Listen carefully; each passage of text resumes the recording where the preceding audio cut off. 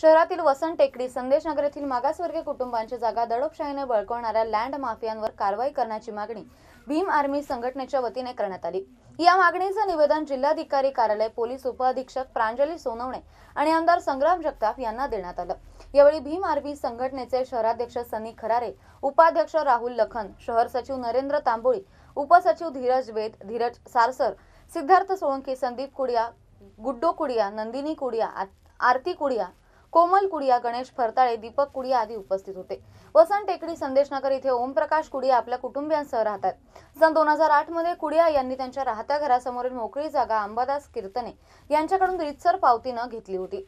सदर जागेचा कीर्तन यांनी परस्पर अनिल विक्रम पोटे यांच्याशी सौदा केला. तशीच कागदपत्र तयार करून घेतली आहे त्यामुळे पोटे आणि त्यांचे हस्तक ही जागा खाली करण्यासाठी मागील एका आठवड्यापासून कुडिया परिवाराच्या सदस्यांना धमकावत प्रत्यक्षात या लँड माफियांनी काही गुंड आणून जागा बळकवण्यासाठी कुडिया यांना जीवे मारण्याची धमकी दिली. कुडिया यांच्या मुलांना मारहाण शिवीगाळ करून ही जागा खाली करण्यासाठी तगादा सुरू केलाय.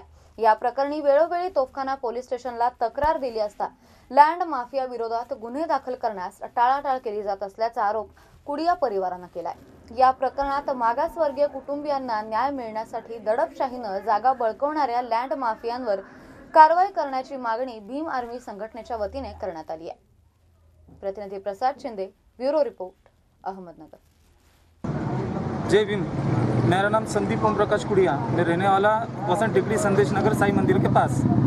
2008 में मेरे पिताजी ने, वो मेरी मम्मी ने रिटायरमेंट के पैसे से सामने की हमारे घर के सामने की जगह लिए थे। वर्ग क्रमांक दो बेचालीस और त्रेचालीस वो मालक का नाम दगड़ू कीर्तन. है उसके बाद में हमारे को हम बार बार उसे खरीदी के बारे में बोलती रही है। तो हमारे टालती रही है, आज देंगे, कल देंगे, महीना जान दो दो महीना जान दो, ऐसे वो बोलते बोलते कुछ साल बीत गए।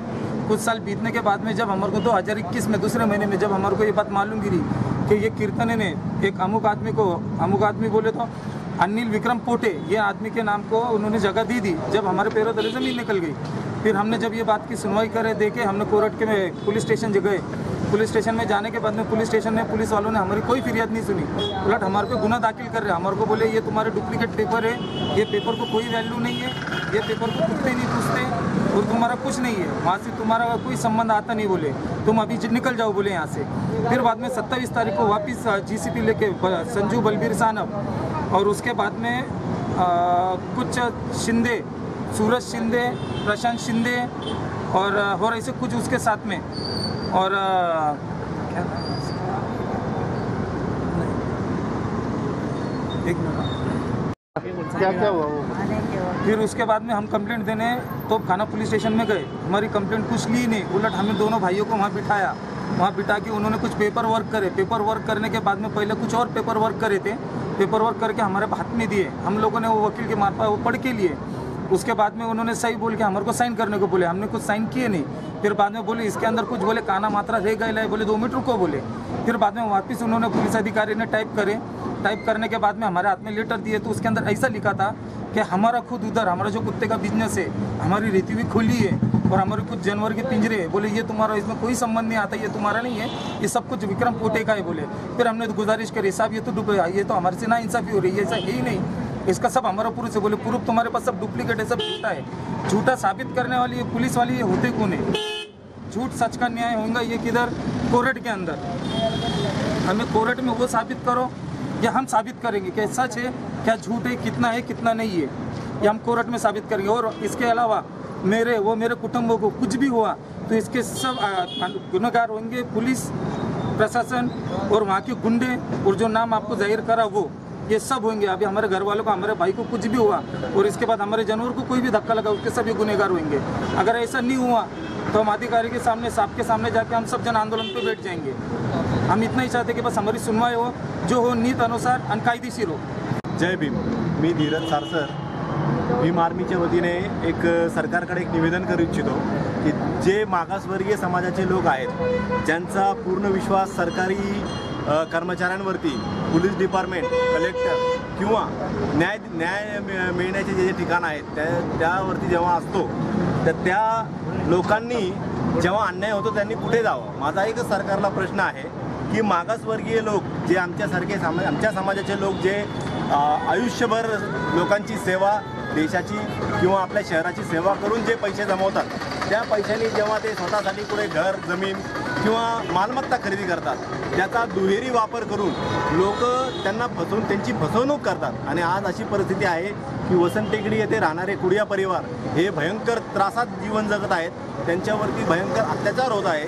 त्यांनी जे काही जमीन खरेदी केली होती जमिनीचा तुकडा जो काही त्यांनी त्यांच्या परिवारासाठी खरेदी केला होता तो तो तुकडा आज त्राईत लोक येऊन तिथे त्याचा कब्जा करतात आहे त्यांना मारहाण करण्याची धमकी देतात आहे बंदुकीच्या नावाखाली जोर दाखवतात आहे याला जे सर्रास त्यांना जो सपोर्ट मिळतोय तो पोलीस प्रशासनाकडून मिळतोय. कारण की कुडिया परिवारमधले जे व्यक्ती आहेत ते जे जातात कंप्लेंट देण्यासाठी किंवा फिर्याद देण्यासाठी त्यांची फिर्याद घेतली जात नाही आहे का घेतली जात नाही आहे हा सगळ्यात मोठा प्रश्न आहे. कारण की सामान्य जनता कोणाच्या भरोश्यावरती जीवन जगणार? कुडिया परिवार आज कोणाच्या भरोश्यावरती न्याय मागणार? हा प्रश्न माझा आहे. आणि तोफखाना पोलीस स्टेशनकडून होणाऱ्या दुर्लक्षाची आम्ही विनंती करतो की असं दुर्लक्ष आमच्याकडे का केलं जात आहे? आम्ही नागरिक नाही आहोत का? आम्ही माणसं नाही आहोत का? आम्ही माणसांमध्ये मोडत नाही का? हा सगळा प्र या प्रश्नाची उत्तरं आम्हाला मिळावी आम्हाला न्याय मिळावा. कुडिया परिवाराला सुरक्षा मिळावी ही गडकळीची विनंती आहे. जय भीम जय महाराष्ट्र. जय भीम. आज जिल्हाधिकारी कार्यालय.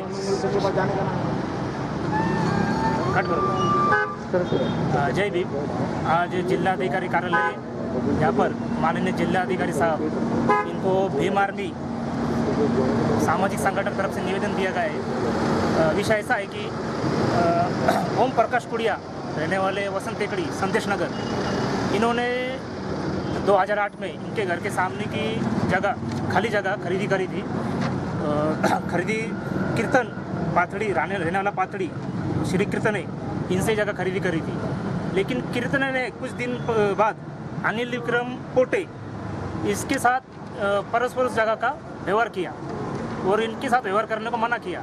लेकिन कुछ दिन पहले कीर्तन ने और पोटे ने कुछ गुंडों को भेजकर इनकी जगह पर ताबा करने की कोशिश करी और जो दीपक कुड़िया है इसको उन, उनको मारन करी और उनको बंदूक का बंदूक बंदूक दिखाकर धमकी दी उनको, और तुमको जान से मार दूँगा अगर जगह खाली नहीं हुई तो। और इनके परिवार को आज उन गुंडों से बहुत धोखा है। और जब ये पुलिस स्टेशन में गए तो इनकी तो थाना पुलिस स्टेशन में कोई भी फिरियाद ली नहीं गई।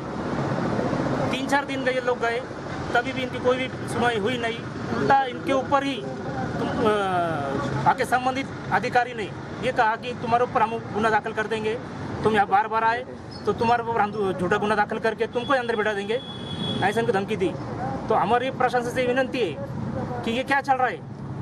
इतना गुंडा राज। आज ये गोर गरीब लोगों ने कैसे कैसे करके अपनी जगह खरीदी करी है? हाँ? साफ़ सफ़ाई का काम करते हैं लोग। इनका कुछ जानवर कुत्तों का बिज़नेस है। वो कुत्ते बेचारे मुख्य जानवर वहाँ पर पालते। वो जेसीबी लाकर गुंडों ने पिंजरों को गिरा दिया। उन कुत्तों को छोड़ा इस, उस दौरान इनका एक कुत्ते की मौत भी हो गई तो इतना होने की घटना होने के बाद भी पुलिस प्रशासन क्या कर रहा है? तो आज हमारी जिलाधिकारी साहब से ये विनंती है कि इस मामले में जल्द से जल्द दखल दे और इन पर तोप खाना पुलिस स्टेशन में जो संबंधित जो भी आरोपी है, उनके ऊपर गुना दाखिल होकर उनको जल्द से जल्द अटक करे।